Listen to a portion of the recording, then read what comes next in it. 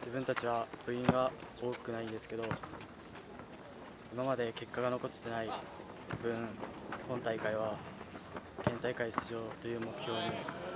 向かって全力でプレーしたいです。自分たちは先生方家族に支えられて今までやってこれたんで恩返しができるよう感謝しながらプレーしたいです。えー今年は、え選手権予選に向けて3年生が5名残っている状態ですので、えー人数も例年より増えていて、えー雰囲気よく練習できているかなと思います、えーここ数年あの選手権予選のみならず県大会の出場が、えー叶っていない状況なので、えーぜひあと1ヶ月後の、えー試合に向けて、えーいい準備をして勝たせてあげたいなと思っています。選手権絶対勝つぞ！